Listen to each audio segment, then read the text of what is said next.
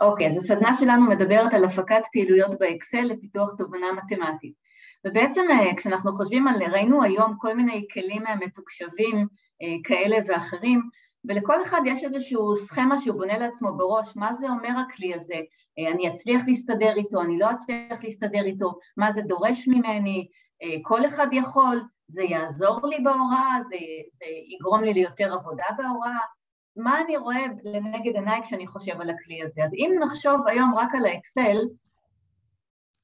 אם נחשוב היום כדוגמה רק על האקסל, אמ, כשאנחנו מכירים כלי טכנולוגי ממוחשב, למשל האקסל, אנחנו מפתחים לעצמנו איזושהי תפיסה לגבי היכולת שלו. התפיסה שלנו קשורה לכל מיני דברים שחווינו בחיים שלנו עם הכלי הזה. למשל, אקסל, אה, אולי מורה משתמשת בו לחישוב ממוצעים בכיתה, אה, או, או אה, חישוב, משפחה עושה חישוב הוצאות והכנסות באקסל לבית שלה. או זוג שמתחתן אה, מארגן לעצמו על מה הוא צריך אה, אה, להוציא ומה יהיו הכנסות בהוצאות לגבי החתונה שלו. וזה מאוד נוח, אבל כשאנחנו חושבים על האקסל במין מבט כזה, אנחנו בעצם חושבים על סיכומים ומספרים וטבלאות ואולי גרפים, ממוצע, דברים כאלה, דברים מאוד יבשים כאלה שחוסכים לנו המון עבודה ומקלים עלינו את החיים בעצם. לעומת זאת אני יכולה לחשוב על האקסל כאיזשהו משהו שבונה יישומון לתלמידים, פעילות נחמדה, כיפית, שמעוררת מוטיבציה אה, בכיתה, אה, ואז אני צריכה לראות האם אני מסוגלת להפיק פעילות שכזאת, ומה זה נותן לי ומה זה נותן לתלמידים. אה, האם יש איזשהו ערך מוסף בבזבוז זמן על ניסיון להכין כזאת פעילות, לעומת הכלים שראינו היום, ש... הרבה מהם היו מוכנים, שאפשר ממש להיכנס לסיבות מתוקשבות מוכנות. כאן אני מדברת על משהו שאני מכינה לפי הצרכים שלי. אנחנו נעשה אה, סיבוב בשתי פעילויות. אה, אני רוצה לצרף לכם אה, אה שני קבצים. הקובץ הראשון, הקובץ הראשון אה, הוא עולה עכשיו לצ'אט, תכף הוא יעלה לצ'אט, ואתם מתבקשים אה, לפתוח אותו. אם לא נוח לכם, אתם לא חייבים לעשות בו כלום, אתם יכולים פשוט להיות יחד איתי במסך השיתופי. מי שרוצה או רוצה יכול אה, גם להתנסות בו.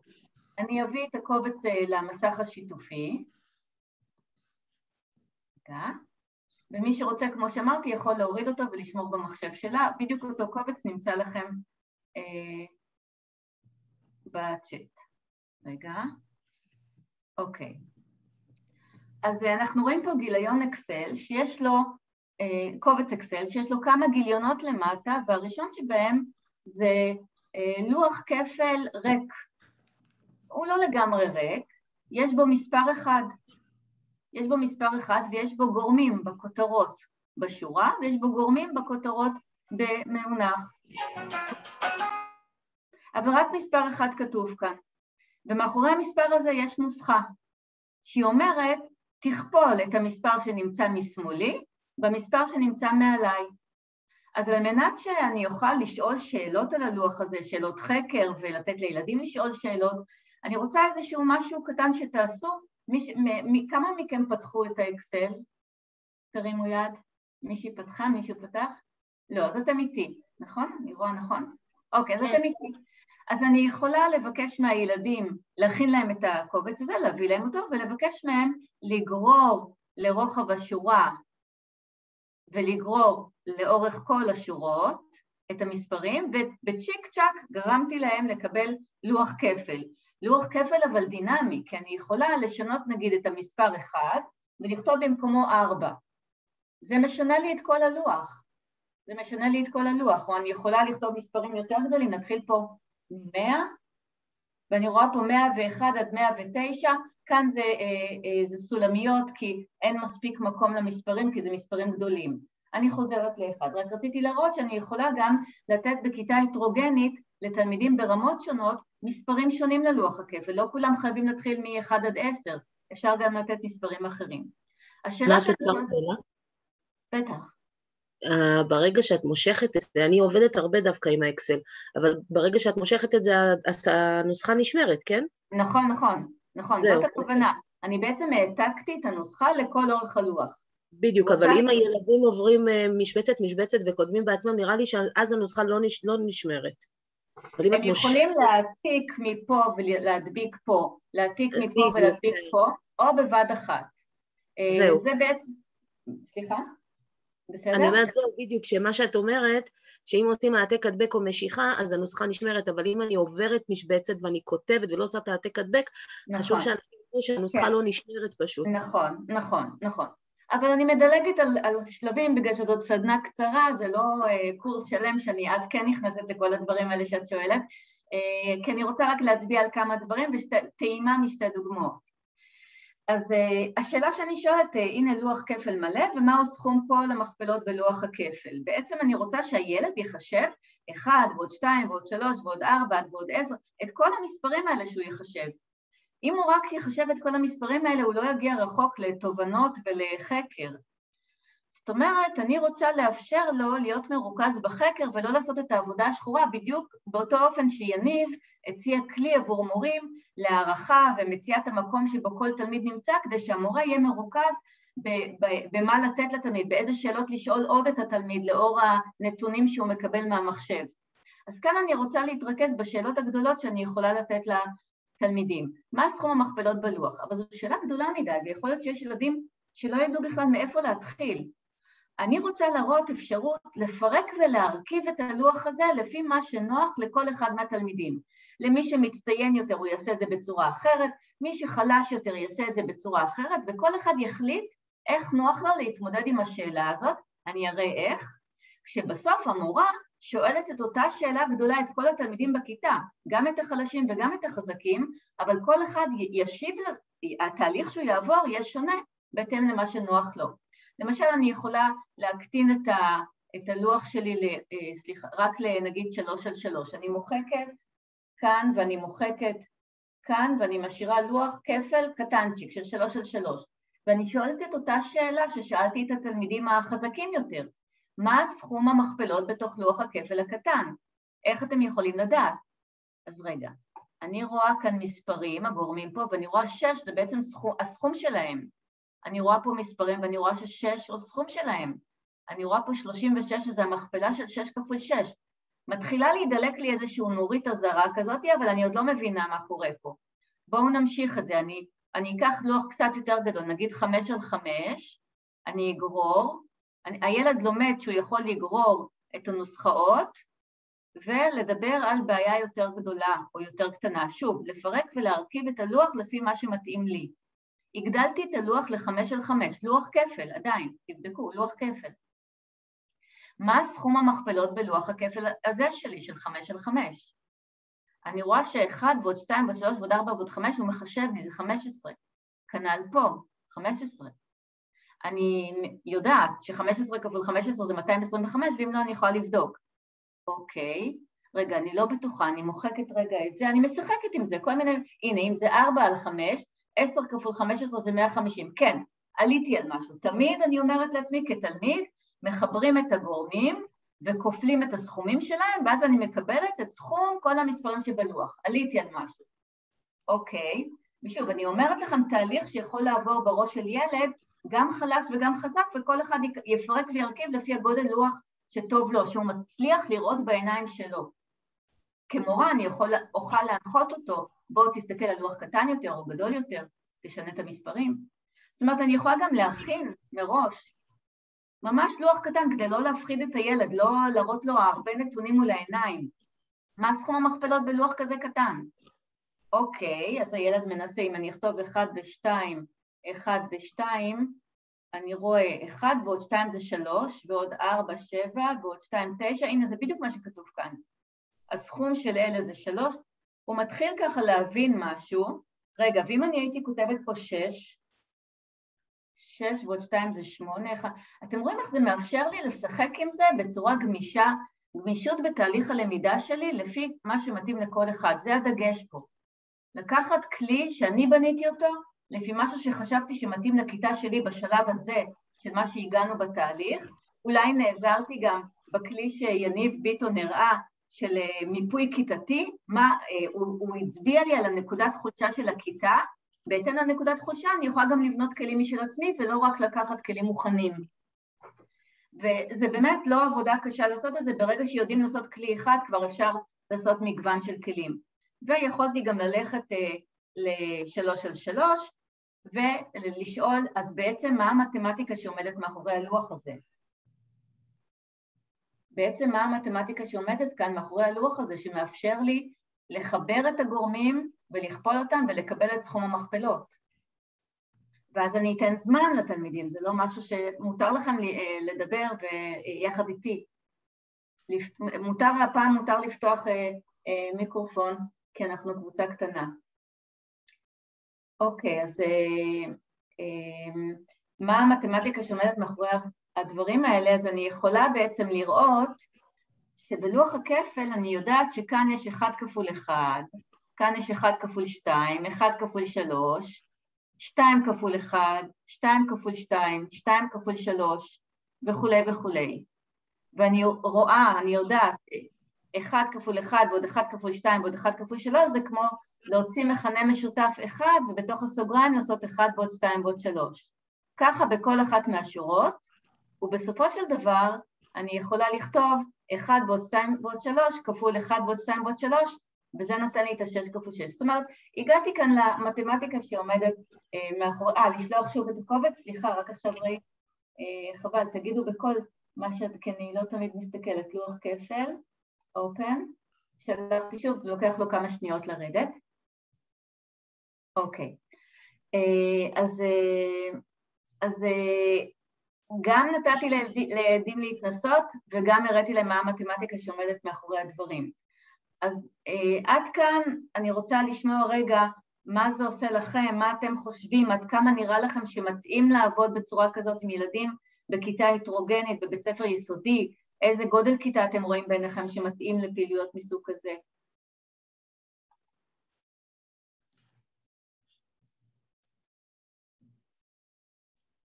מיטל, את יכולה לענות, אל תתביישי.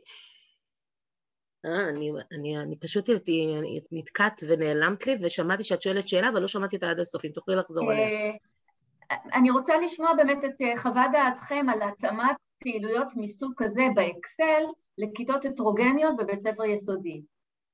אני חושבת שקודם כל זה כלי נהדר האקסל, זה, זה כלי שכבר נותן להם אה, חוויה בסיסית לעתיד, ואני חושבת שזה גם מקל מבחינת לחץ נפשי על התלמיד.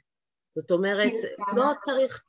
מקודם ראינו למשל אצל אה, אה, אה, גלי, נכון? קוראים לו כן, גלי? כן. את הסרטון של התסכול. כן. אני מאוד מזדהה עם התסכול, את המרצה שלי, את יודעת כמה, כמה תוסכלתי. אני מאוד בעד תסכול, כי זה בעצם בונה לנו באמת את מי שאנחנו לעתיד. אבל מצד שני, יש ילדים שהתסכול הוא דווקא עקיב אכילס שלהם, וזה יכול לפתור להם את זה, וכן יכול לקדם אותם. אז גם התסכול הוא מבורך, אבל גם עד, עד גבול מסוים. כן. אה, יש פה יצירתיות, האקסל זה כלי נהדר. מיטל, אני חושב, אפשר, אפשר להתערב רגע. נהדר, כן. אה, אני חושב שפה האקסל עובר את רמת התסכול של התלמיד. תלמידים שהם לא אורייניים מספיק בכל הנושא של החישוב בלוח הכפל, ויש להם חסמים של מיומנויות יסוד, הרי לוח הכפל זה מיומנות שהיא בשליפה אמורה להיות. הם פה נמצאים רמה אחת מעל, מתחילים מלמעלה, מתחילים משכל החישובים נמצאים, הם פשוט צריכים להשיג את המסקנות. ודווקא התלמידים שהם לא כל כך בולטים בכיתה, ויש להם יצירתיות בחשיבה שלהם, הם מסוגלים לגלות את הקשר הזה. אתה אמרת את מה שהיה... אולי רמה אחת מעל האוריינות, כאילו, אתה אמרת את מה שהיה בראשי במדויק והוצאת את המילים כל כך במדויק, בדיוק לזה התכוונתי, שהילד יכול להיות ילד כל כך יצירתי. ענת המרצה שלי יודעת שאני כל כך דוגלת ביצירתיות, כי זה אה, אבן דרך, לפי דעתי, יצירתיות בסיסית ביותר שממנפת את הילד. וילד שיש לו את הקושי, והוא רוצה להוציא מהכוח אל הפועל, ואין לו איך, זה כלי נהדר. וממש אני מתחברת, אחמד, למה שאמרת גם על, על הילד המתקשה, שפה הוא לא צריך, אז הוא לא יודע לחשב, אבל הוא יכול להגיע לתובנות מדהימות, גם בלי ה... אוקיי, אז, אז זאת בעצם הייתה המטרה, ו, ומכאן אפשר לשאול כל מיני שאלות, באיזה סדר יש להציב את המספרים כדי לקבל את סכום המכפלות הגדול ביותר או הקטן ביותר, ועוד ועוד. אני אעצור כאן, אפשר לקחת את זה לעוד המון מקומות וללכת לגיאומטריה מתוך זה. אני אעצור ואני רוצה לשתף אתכם בעוד דוגמה, בדוגמה השנייה של המפגש שלנו. אמ, רגע. שנייה. אוקיי. אז הדוגמה הראשונה שלנו הייתה אה, לוח כפל, וראינו איך זה נותן מענה אה, לכיתה הטרוגנית ומעצים את ה... יכול להעצים, בפוטנציאל להעצים את החלשים ולהביא אותם לרמות גבוהות של חשיבה. הדוגמה השנייה, אני רוצה לצורך זה להעלות אה, קובץ נוסף, אני אשמח אם תפתחו אותו, דווקא עכשיו כן תפתחו, בסדר? אתם לא צריכים לדעת מיומנות, אבל לשחק איתו, תפתחו אותו. הלכת קובץ נוסף? אני עכשיו מעלה, שנייה. הנה, תגידו לי אם אתם רואים. כן. כן, בפלאפון סבטלנה, סליחה, זה לא עובד, אז, אה, אז תהיי איתי, בסדר? אה, גם מתדל, תהיו איתי. תכף, תני לנו לפתוח אותו. אוקיי, ואני גם אפתח יחד איתכם. אני רק מציגה את ההתחלה. אה, אתם תראו עכשיו באקסל שתפתחו איזשהו, שוב, לוח קטנצ'יק עם שלושה מספרים, 9, 8, 43. וההתחלה, אילו שאלות הייתם שואלים, אבל אה, בואו ניכנס לקובץ שאתם קיבלתם עכשיו ביחד.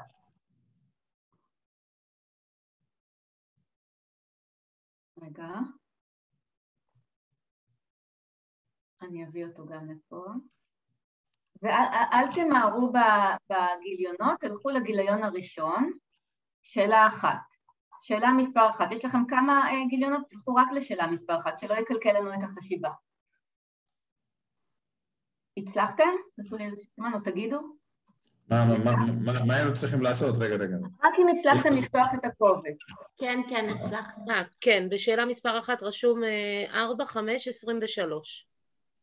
שאלה מספר אחת? לא, סליחה. תכתבו בריבוע, כמו שאצלי, תכתבו בריבוע הצהוב 8, בריבוע הירוק 9, וזהו.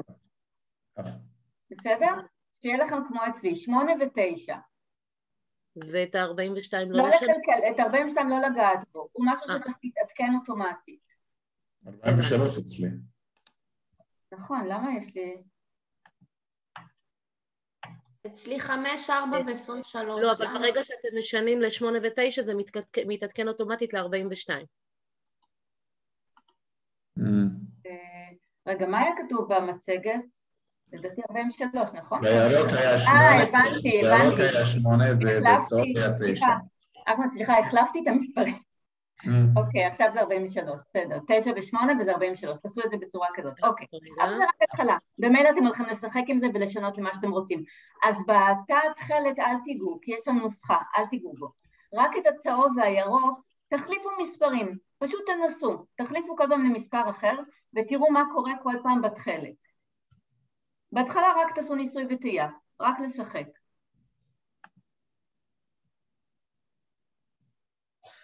נבדוק מה קיבלנו. כשאחרי שנותנים לילדים לשחק, ככה להכיר מה קורה, להכיר את הכלי, איזה, איזה סוג משחק זה, איך הוא עובד, אז השאלה היא, אה, השאלה היא איך מגיעים מ-9 ו-8 ל-43. ועכשיו תשחקו שוב עם המספרים כשאתם יודעים מה השאלה. השאלה היא, מה, מה עושים עם התשע והשמונה הזה כדי להגיע ל-43? ושוב, אל תפתחו את הגיליונות הבאים, בסדר? רק בשאלה מספר אחת, רק בגיליון הזה. מה צריך לעשות לתשע ושמונה כדי להגיע ל-43? אני גיליתי משהו מעניין. כן. שהוא לא... מה? לא התשובה, אבל גיליתי משהו. מה? כבר הלכתי על השוויון. הלכתי על עשר ועשר, חמש וחמש. אני עושה מה שאתה אומר, עשר ועשר, כן. נגיד, תני עכשיו תשע ותשע. קיבלת חמישים פוסט, אז קודם כל עכשיו קיבלתם ארבעים וחמש. כן. כאילו אם תשימי מספרים זהים למעלה, תקבלי את ה... שמונה ושמונה, ארבעים. זה יורד בחמש, אני רואה. שבע. ושבע, יפה. לא, לא, פשוט אם תשימי אותו מספר למעלה, כן. תקבלי את המספר כפול חמש. את המספר הזה כפול חמש. יפה, יפה. שמת לב? יפה, זה, יכול, זה מכוון אותנו לאנשהו. יפה. הנה, זה בדיוק כזה דבר שמדהים שקורה. זה תחילת, תחילת, תחילת, סוג של תחילת חשיבה כזה. נכון, נכון, מדהים. בואו נתחיל. תשנו למה שבא לכם. אז אם אני אשים למעלה עשרים, אני אקבל מאה. עשרים ועשרים? כן. אקבל את המאה. כי לפי החוק שאתה אמרת, עשרים כפול חמש, מאה, נכון. אוקיי, אז אתה מתייחס כאילו זה אותו דבר, אם זה היה אותו דבר, אני יודע מה, מה קורה. מה קורה כשזה לא אותו דבר. נכון, בוא נתחיל. צריך לחשוב. אוקיי, רגע, הצטרף אלינו פרופסור אביקם גזית, שנייה, מסמינר הקיבוצים. היי אביקם. אביקם, אתה איתנו? אביקם? לא, לא שומע? אוקיי. אה, אני חוזרת אה, לטובת מי שהצטרף עכשיו, השאלה הייתה, אה, יש לי פה את המספר 9 וכאן את המספר 8 וקיבלנו 43. השאלה הייתה לטובת מי שהצטרף יותר מאוחר, תשחקו עם המספרים 9 ו-8 ותראו מה קורה לריבוע החלק. טוב, אביקם עשיתי מיוט כי היה רעש רקע ואני מצרפת לך את הקובץ שתוכל להתנסות Uh, הקובץ היה מהמספרים אל התרגיל, open, ועכשיו הוא עולה שוב, אז מי שיצטרף עכשיו יכול לראות, כי מי שנכנס מאוחר לא רואה מה שהיה קודם בצ'אט. Uh, אז צריך לשחק עם המספרים האלה, ובינתיים אחמד צפדי אמר לנו ש, שאם נכתוב את אותו מספר, למשל 10 ו-10, וזה העלה אותנו רמה בחשיבה, אז בעצם אנחנו מקבלים פה את המספר שכתוב כאן פי חמש. ואז. השאלה מה קורה אם אנחנו לא שמים את אותו מספר, איך אנחנו יכולים אה, לדעת מה קורה. אז בואו תתנסו.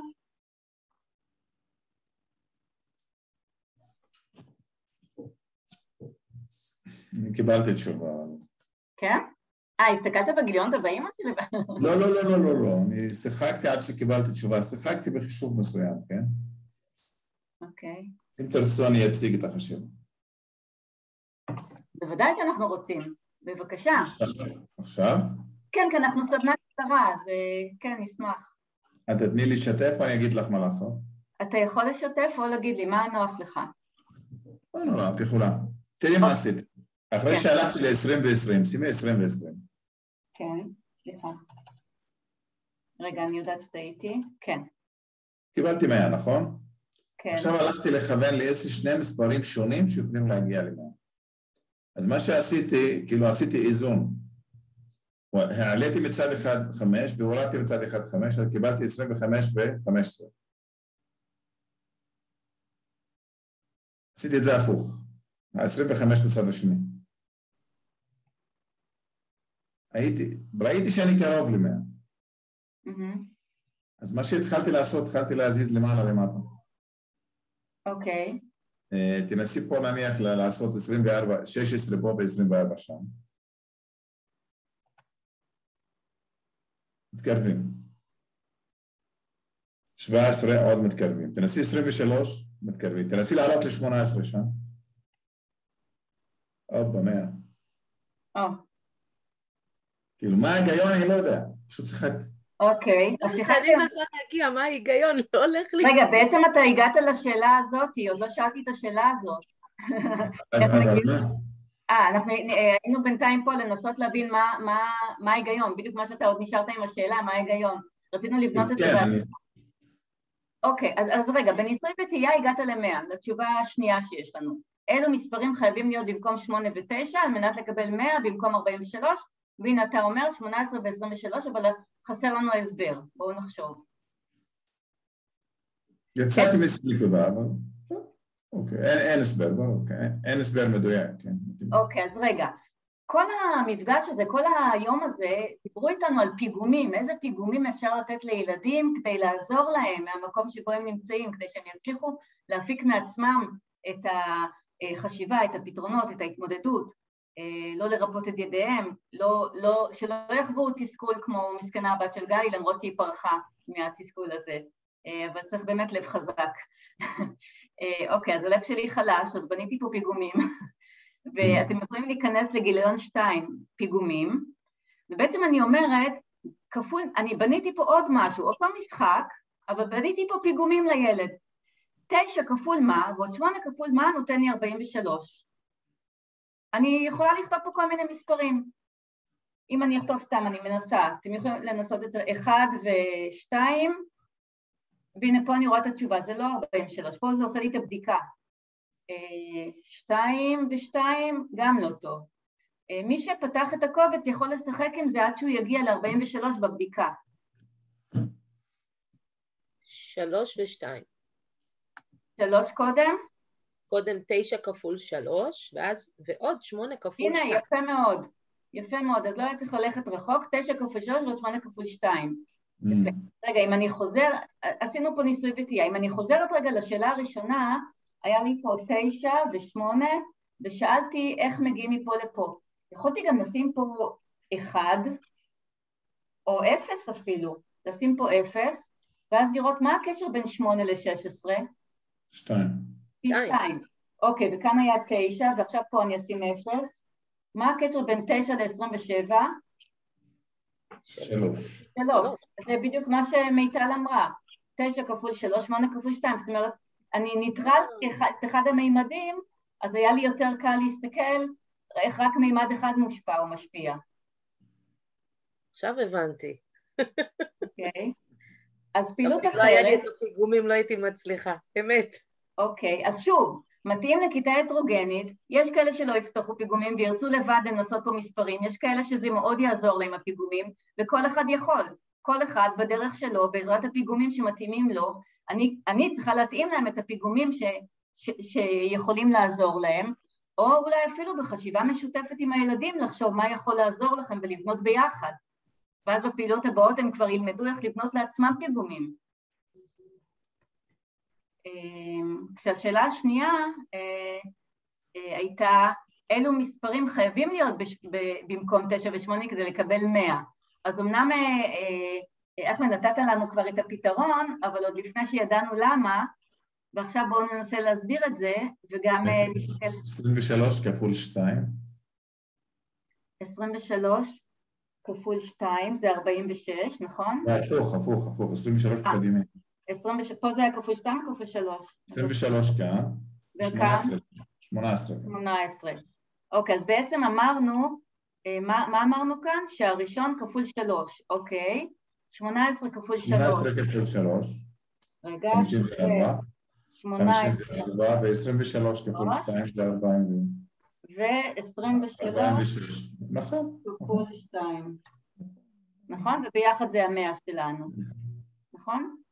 אוקיי. האם זו התשובה היחידה? האם יש עוד תשובות שיכולות להיות? תחשבו, האם יש עוד תשובות שיכולות לתת לנו 100? כן, הוא הראה לנו, בטח. מי הראה? זאת הייתה התשובה שאמר קודם. אני הגעתי לתשובה הזאת. לא. הוא הגיע לתשובה הזאת. אם אני לא טועה 20 ו-20, לא? לא. אה, נכון. כן, נכון. 20 ו-20. נכון. אז רגע, יש לנו... ואז הוא התחיל לשחק, להוריד פה אחד, להוסיף פה אחד, להוריד פה אחד, להוסיף פה אחד, יש לו שתי נכון. אז הנה כבר שתי תשובות uh, מתאימות, האם אלה שתי התשובות היחידות המתאימות? בואו רק נבדוק, 20 ו-20. 20 ו-20 גם נותן לנו 100. יש עוד תשובה שיכולה להתאים?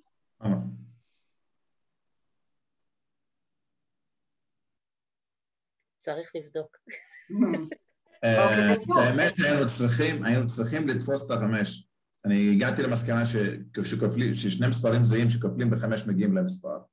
הם צריכים לזהות שהחמש הוא שתיים ועוד שלוש. יפה, יפה. אז בדיוק שמעתי אותך בעיני רוחי לפני שהתחלתי את הסדנה ובניתי פיגום. אוקיי. אז, אז הנה, בעצם כאן משהו כפול שלוש ועוד משהו כפול שתיים, אנחנו רוצים שתיתן לנו מאה. אז הנה החמש שאתה מדבר, אבל אנחנו רוצים לפרק את זה לשני מספרים. אז אמרת למשל ש-20 כפול 3 ועוד 20 כפול 2, הנה זה בדיקה נותן 100, וגם אמרת, מה עוד אמרת? 18 ו-23. אמרת 18 ו-23. בעצם אני רוצה, קחו את המאה הזה, קחו את המאה, תדמיינו, יש לכם את המאה, אתם רוצים אה, שיהיה לכם, אה, לחלק אותו לשני חלקים את המאה הזה. לחלק אחד שמתחלק לשלוש בדיוק, ולחלק אחד שמתחלק לשתיים בדיוק. נגיד 60 ו-40, 60 מתחלק לשלוש בדיוק, ו-40 מתחלק ל-2 בדיוק. אז 60 מתחלק ל-3 בדיוק זה 20, ו-40 מתחלק ל-2 זה 20, וזו התשובה שאמרת. בואו תחלקו לעוד, אתם תגידו, תחלקו את 100 לשני חלקים אחרים, שאחד מתחלק לשלוש בדיוק ואחד מתחלק לשתיים בדיוק, בלי שארית. שני מספרים שהסכום שלהם 100, שאחד מתחלק לשתיים ואחד מתחלק לשלוש. 64 ו-36. 64? ו-36. 64 ו-36. רגע, שניהם מתחלקים לשתיים, אבל זה מתחלק לשלוש. אוקיי, אז 36 אה, אני אכתוב פה, ו-64, אה לא, סליחה, טעיתי, סליחה. יפה, 36, אז 36 לחלק ל-3 זה 12, 64 לחלק ל-2 זה 32, והנה, אז לקחתם שני מספרים שהסכום שלהם 100, שאחד מהם מתחלק ל-3 בדיוק, אחד מהם מתחלק ל-2 בדיוק, מי שמתחלק ל-2 שמתם אותו פה, 32 כפול 2 זה 64, מי שמתחלק ל-3, 36 לחלק ל-3 זה 12, שמתם אותו פה, והנה הסכום שלהם הוא 100. זאת אומרת, כבר העליתם אסטרטגיה איך אני יכולה אה, להגיע לפתרון לשאלה מהסוף להתחלה. יש לי את התשובה, 100, מהם המספרים שמרכיבים אותו. יש לנו עוד אחד, יש לנו 90 לחלק לשלוש, נכון? ואז יש לנו בעצם את ה-30 כפול 3, ואז זה 90. זה 10? בדיוק. נהדר, בואי נראה, 30 פה, ו-10 לחלק ל-2 זה 5, מדהימה. יפה. היא מרצה טובה. נראה לי צריך לפרוש בשיא. כן, אנחנו גם צריכות להיכנס לשיעור של פרופסור כן, כן, כן, אנחנו מסיימים פה. אנחנו, זאת הייתה טעימה לשתי פעילויות שמתאימות לכיתה הטרוגנית, שבעצם המורה יוצרת עבור התלמידים ואולי יוצרת יחד עם התלמידים, תוך כדי גם אה, בונה פיגומים כדי לעזור לכל התלמידים להגיע לחשיבה בתוך מרחב הבעיה. ובעצם לסיכום, מה שאנחנו רואים כאן זה שאם יש לי כלי טכנולוגי, במקרה הזה אקסל, אני כאדם צריכה לפתח לעצמי תובנות עבור הכלי הזה, מה אפשר לעשות איתו, למה הוא מתאים.